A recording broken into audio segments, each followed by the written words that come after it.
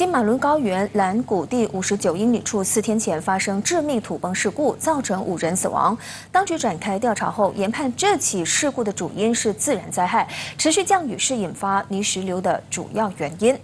天然资源及环境永续部发文指出，根据矿物及地理科学局初步调查，金马伦从上个星期三开始不断降雨，导致土壤松动，再加上山坡斜度超过三十五度，才会引发土崩。为了防止土崩事故重演，当局建议地方执法单位在监管规划发展项目和坡地农业可持续活动时，也一定要鉴定有可能发生土崩的因素，包括把项目地点、斜坡角度、积水和排水区、森林或圆丘砍伐等各种容易引发土崩的因素纳入考量。